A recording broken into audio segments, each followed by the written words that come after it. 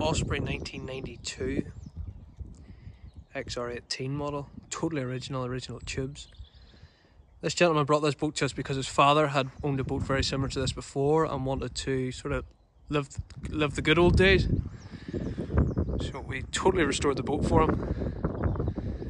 Um, there was antifoul originally on the hull and we stripped her back, cut her back and left her beautiful once again. And then above the waterline we cut the whole hull or the, the top half of the boat back, polished it and sealed it with a really good high quality UV sealant.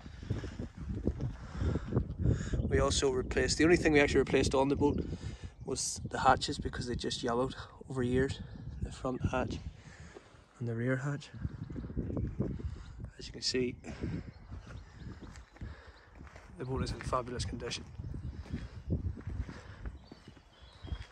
There was various gel repairs done to the boat as well, just to sort of cosmetically enhance the makeup of the boat. I think he's going to be very, very happy with the outcome. We actually washed the floor to get rid of the yellow staining as well over time and it just sort of just got grubby looking.